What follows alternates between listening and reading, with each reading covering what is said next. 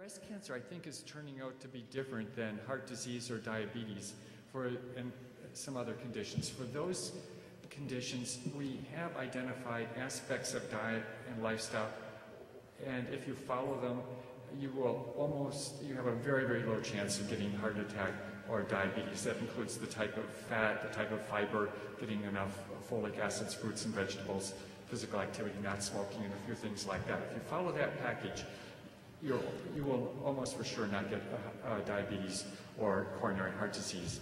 For breast cancer, though, it is turning out to be different. And that's because the strong, in fact, very well established risk factors for breast cancer are actually our reproductive behavior.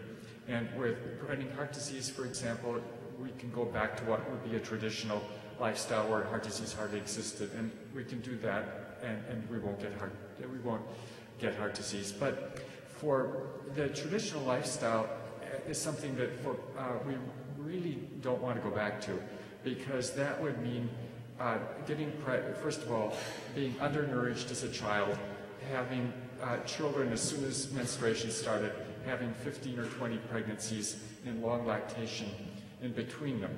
And for all kinds of personal reasons and ecological reasons, that that's something uh, we, we would not want to go back to. But we do know that that would reduce breast cancer to very, very low levels.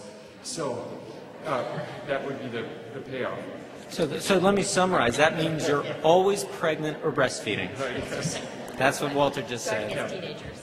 So, right, so it, what we're dealing with is a background situation where, where uh, women want to have education and we can't have huge numbers of children per family for sustainability reasons, and so small families, uh, usually later because of education, employment, is going to be sort of a, a given.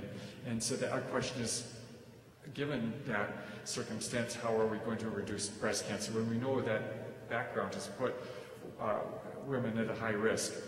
And we have found, as I mentioned, a few things that uh, uh, avoiding weight gain during midlife will help reduce postmenopausal breast cancer, but it won't do anything about premenopausal breast cancer.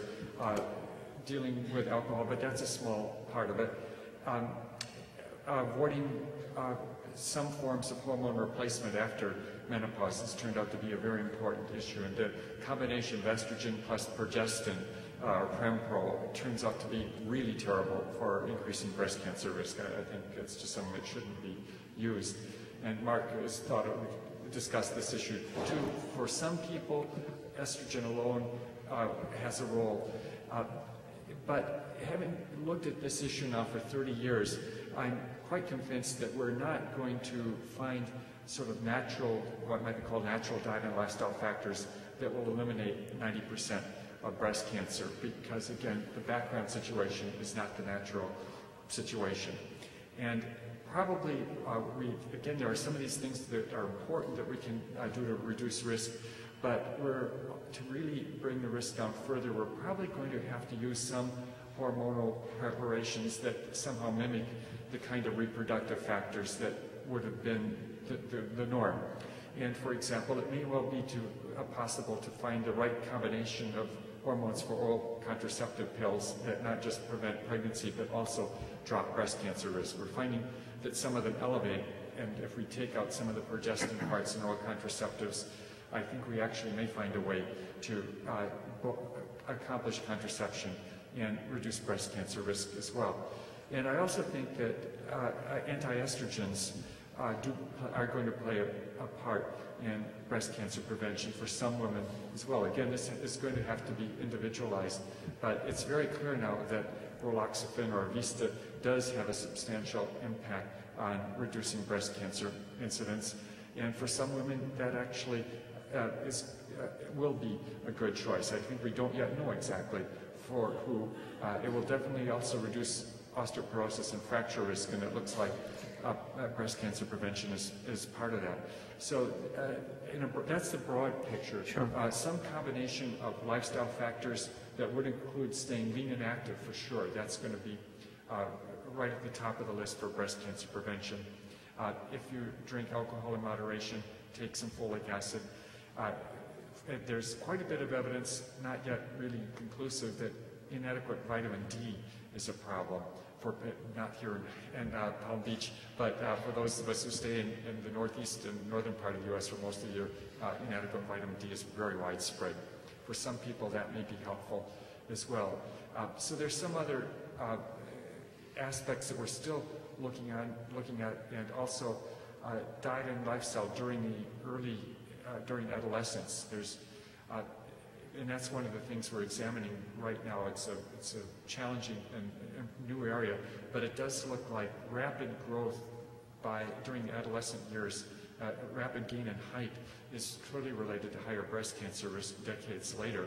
And so the question is, what is it that drives that rapid gain in weight? And we're with support from the Breast Cancer Research Foundation looking at that right now. The first factor that's emerging is that high dairy consumption does seem to be accelerating rapid gain in weight. So what's the right amount? I think it's fine to have some dairy, but what's the right amount is one of the questions that we'll be looking at.